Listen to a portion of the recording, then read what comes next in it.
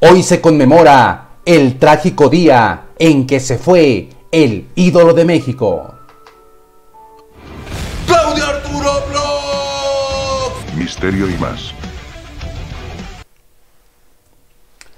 Hola, ¿qué tal amigos? Bienvenidos a Claudio Arturo Vlogs, Misterios y más.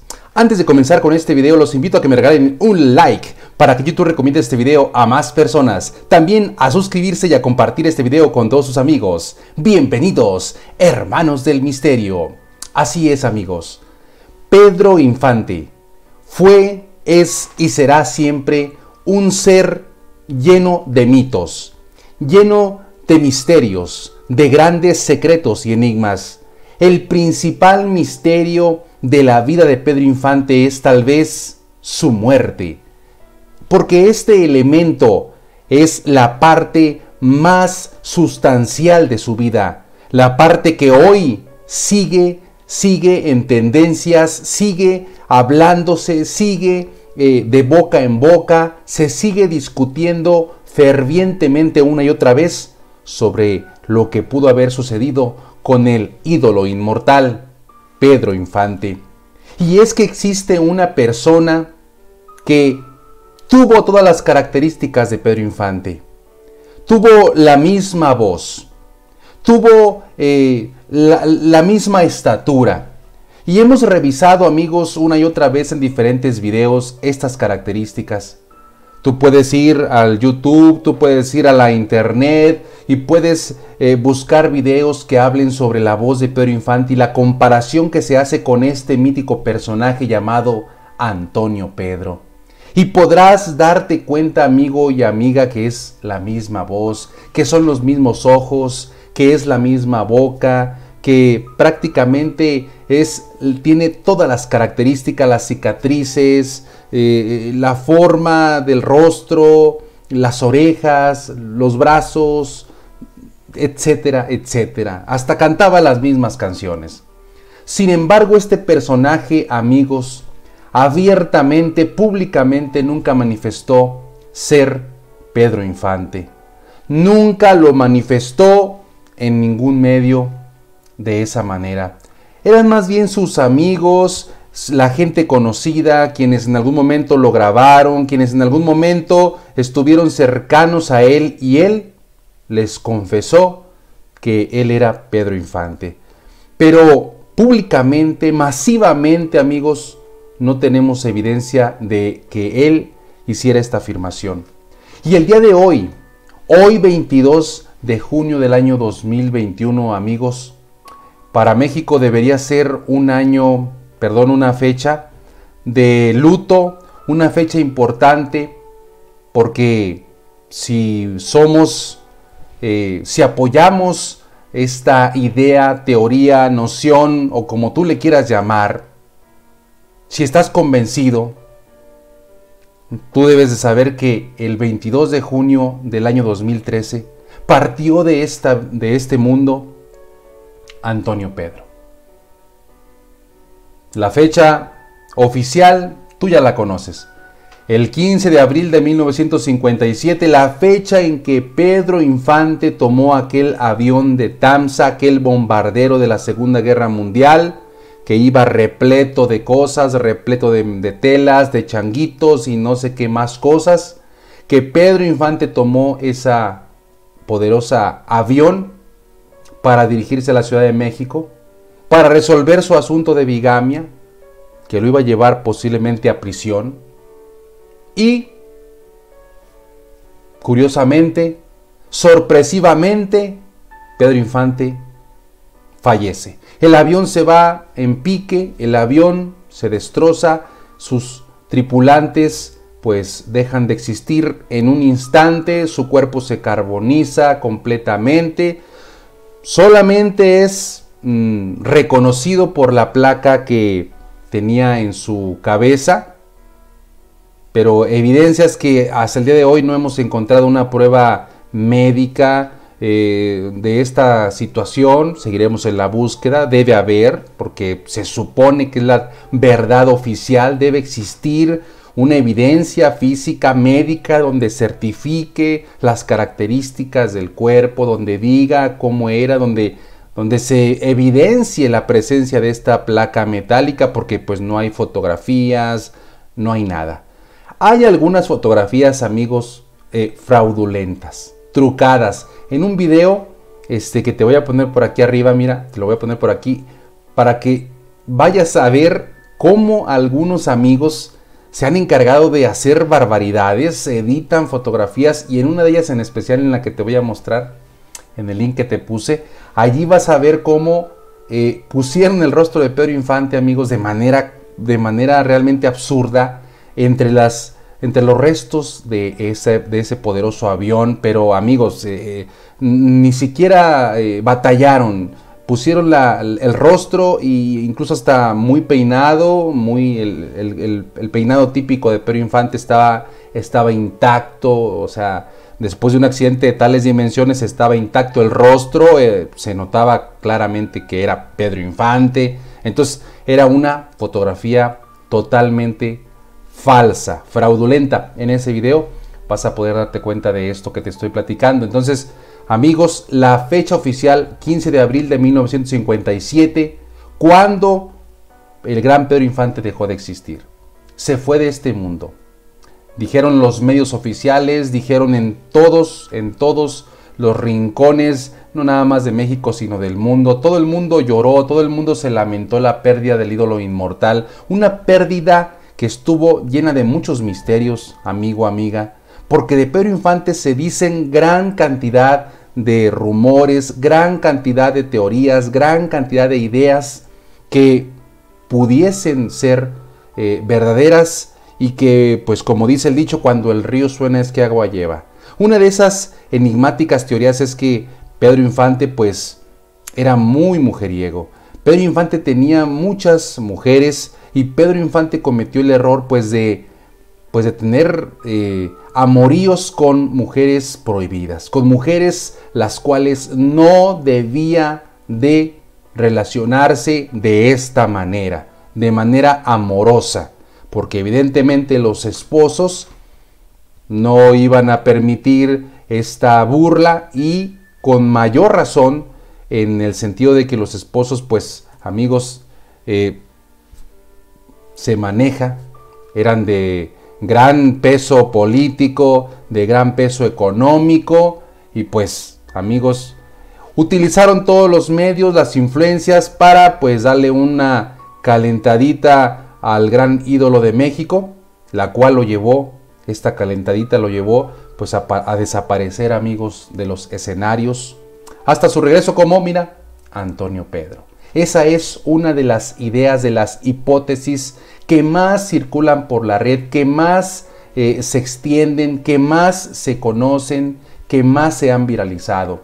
Pero existen más teorías, amigos, más ideas con respecto a esto que tal vez algún día podamos conocer. Una de ellas es que pues Pedro Infante fue traicionado, fue traicionado por sus amigos, fue traicionado por la gente en la cual él más depositó su confianza, por la gente en la que él entregó no solamente su confianza, sino su riqueza, ¿sí? su, representación.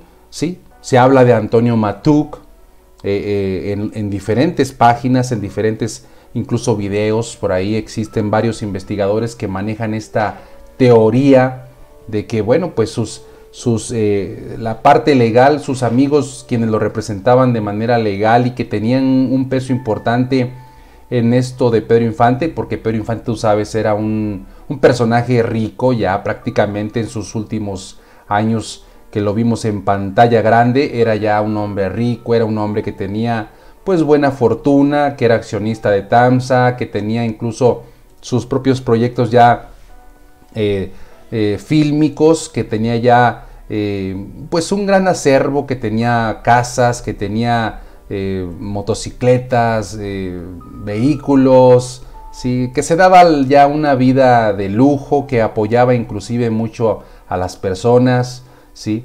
a los pobres. Entonces Pedro Infante ya era una persona que pues no vivía en pobreza, sino que vivía con ciertos lujos, aunque sabemos que Pedro Infante era muy humilde, y que él nunca, nunca, eh, pues se le conoce eh, que, se portara déspota, como muchos actores que a la primera oportunidad pues eh, se, van, despegan, se van hasta, hasta, hasta el cielo, hasta las nubes, ¿verdad? Llenos de, de egocentrismo, de fama, riqueza, poder. Y Pedro Infante no era así.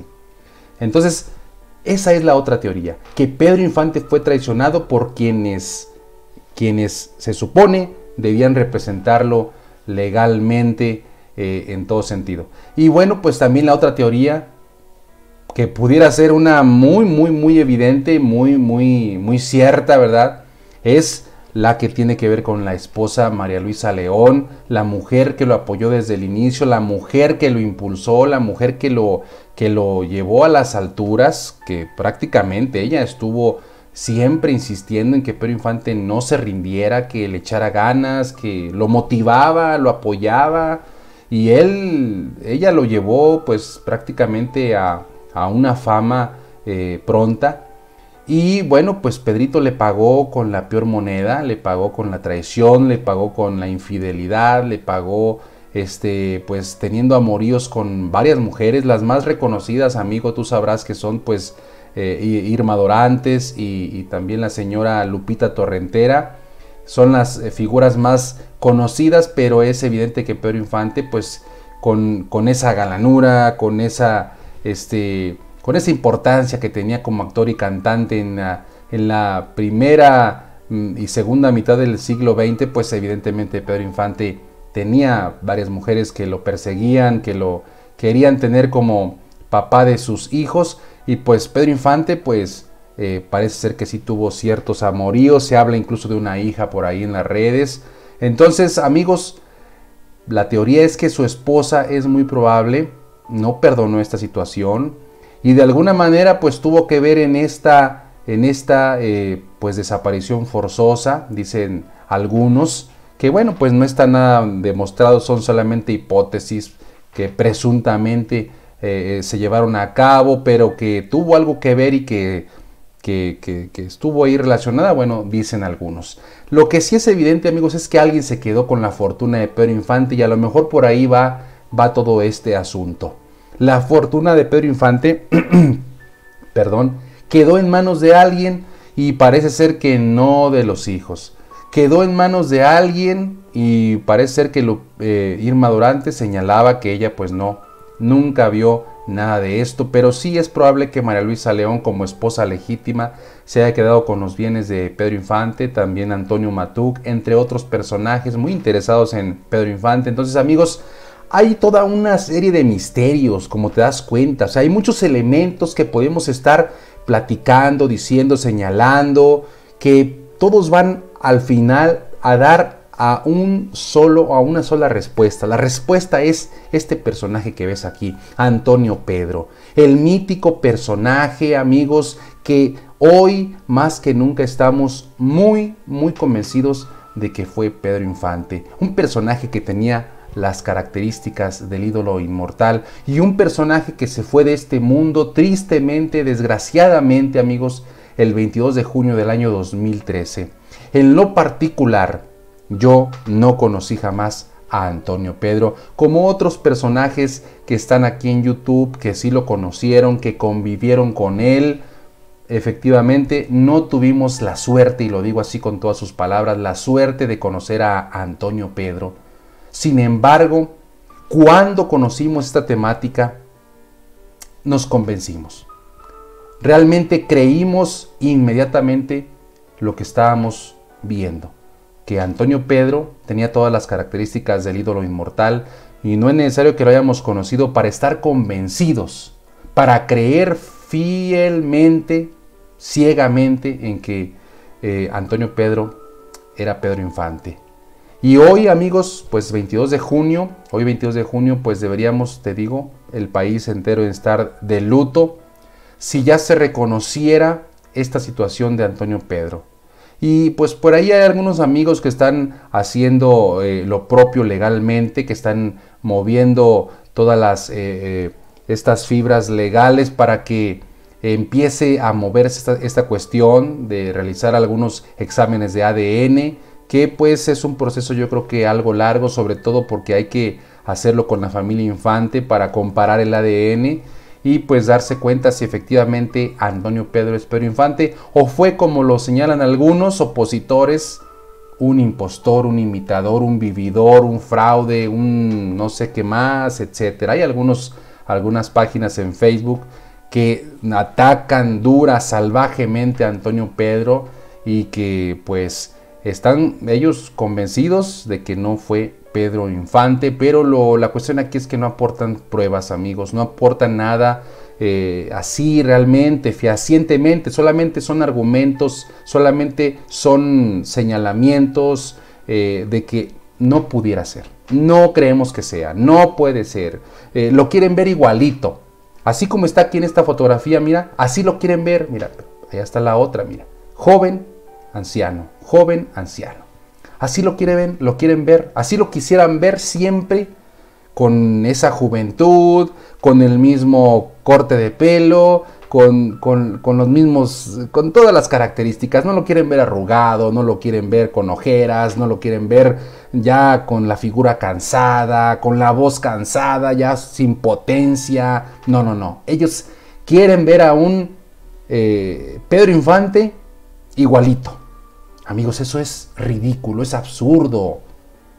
Podemos revisar, incluso ya lo hemos hecho en algunos videos, revisar a los famosos, cómo cambian, cómo han cambiado de jóvenes a viejos. Amigos, prácticamente son pocos los que se conservan de la misma manera. La mayoría sufren modificaciones muy grandes y ya no se parecen en lo absoluto a cuando eran jóvenes. Entonces, ¿por qué creer? ¿Por qué querer ver a Antonio Pedro igualito a Pedro Infante? Así, así como joven, ¿verdad? O sea, es absurdo, amigos. Las personas cambiamos. Pero bueno, amigos, pues hoy 22 de junio no queríamos dejar pasar esta fecha desapercibida. Es muy posible que allá en Delicias, Chihuahua, algunos personajes del ambiente de YouTube se hayan reunido en el Panteón de Delicias para festejar, para conmemorar, eh, pues, eh, está el fallecimiento de, Antonio Pedro, ese mítico personaje que muchos aseguran fue Pedro Infante y que muchos están convencidos de esta cuestión y que pues hoy, 22 de junio, es el día en que partió de este mundo, se fue al encuentro con el Creador, se fue a descansar, se fue a vivir con esa paz que tanto anhelaba, se fue con el conocimiento y con el misterio de quién era en realidad. Un misterio que pocos conocen o que pocos dicen conocer. Un misterio que hasta el día de hoy sigue pendiente. Hay quienes apoyan, hay quienes rechazan. Y bueno amigos, pues la finalidad de este video del día de hoy era simplemente recordar, recordar hoy 22 de junio del 2013 partió de este mundo el gran Antonio Pedro Infante, como le llaman muchos. Y bueno, pues si te gustó este video, amigo, amiga, te invito a que visites eh, todos mis videos que hay por ahí en mi canal. También que le des like a este video, es muy importante el like para que YouTube lo recomiende. Que te suscribas al canal y que lo compartas el video en tu red social favorita. Y bueno, pues eh, esto es todo por hoy. Yo soy Claudio Arturo Vlogs, esto es Claudio Arturo Vlogs, Misterios y más. También estamos subiendo un poquitillo de de este, otros actores muy importantes del cine mexicano. Estamos por subir un video de este, el, actor Ramón, Ramón Gay. Te va a gustar mucho ese video, te, te, lo recomiendo para que lo visites. Y así, ¿verdad? Estaremos subiendo una que otra vez algunos videos de personajes del cine mexicano que nos parece bastante interesante. Hay una gran comunidad de seguidores de estos personajes y en lo particular a mí me encanta todo lo relacionado con Pedro Infante y con el cine y las estrellas del cine mexicano y sus misterios. Bueno amigos, pues esto es todo por hoy.